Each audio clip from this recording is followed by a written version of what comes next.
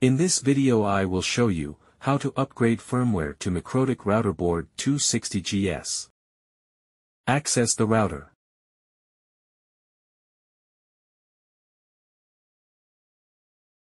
Connect to the Mikrotik router using an Ethernet cable.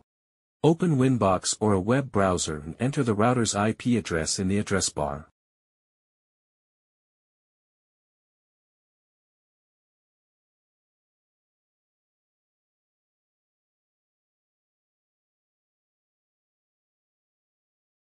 Default IP address 192.168.88.1.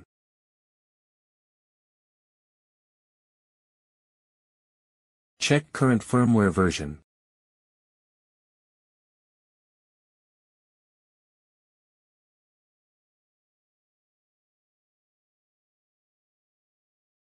Visit the official Mikrotik website and go to the Downloads section.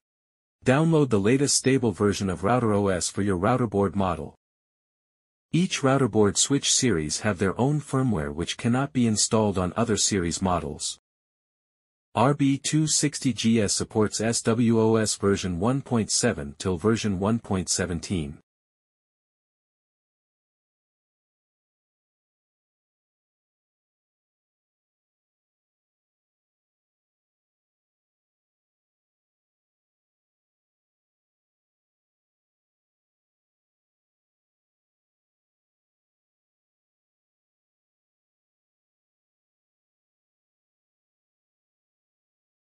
Backup configuration.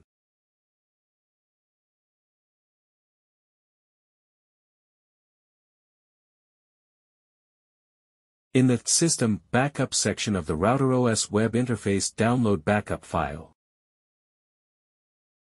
Regularly backup your router's configuration. You can do this from the web interface or using the command line interface.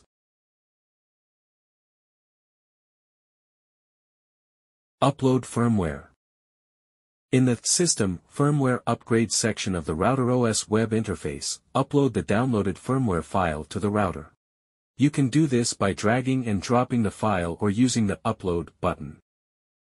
First I will show that I upload not supported version. Now we can see message that upgrade failed, invalid firmware file. Let's download correct firmware from official Mikrotik website. Now let's upload the correct downloaded firmware file to the router.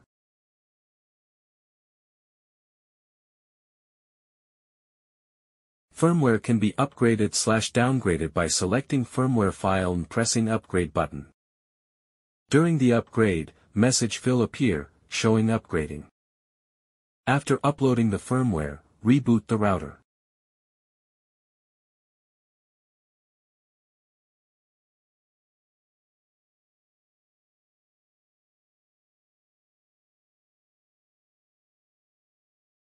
After the router reboots, log in again and navigate to System and General to confirm that the firmware has been successfully upgraded.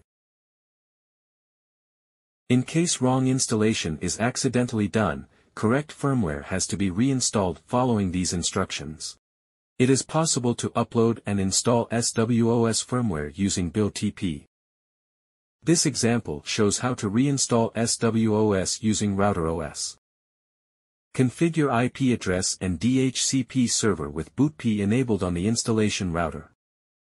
Upload new SWOS firmware file to the router file system. Configure TFTP server. Hold the reset button of the switch when starting it. After few seconds ACT LED will start blinking. Wait till ACT LED blinks twice as fast and release reset button. Make Ethernet connection between the switch port 1 and Ethernet port you configured DHCP server on. After few seconds new firmware should be successfully uploaded and installed. Thanks for watching. If you enjoyed this video, don't forget to subscribe and give it a thumbs up. Your support means a lot. Stay tuned for more exciting content. Until next time, take care.